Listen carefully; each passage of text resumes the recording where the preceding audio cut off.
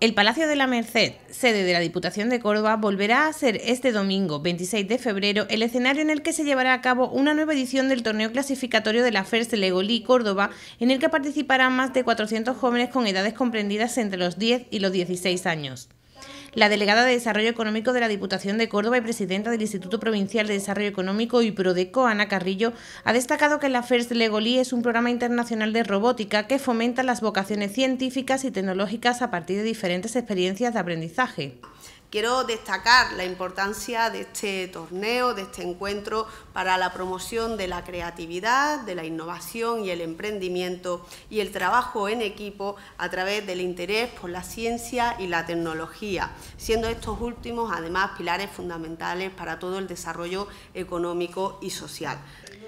Por su parte, Silvia González, representante en Andalucía de la FERS de Legolí, ha detallado que en la presente edición la temática será el desafío Animal Allies y consistirá en mejorar las interacciones de las personas con los animales. Tal vez sea el evento en el que más personas están pensando simultáneamente sobre el mismo tema, intentando alcanzar soluciones. Este año se celebrarán 31 torneos clasificatorios de la FERS Legolí en España y en ellos participarán 1.600 equipos y 2.500 voluntarios. Los ganadores de los torneos clasificatorios llegarán a la gran final FERS Legolí España el 18 de marzo en La Rioja Forum de Logroño.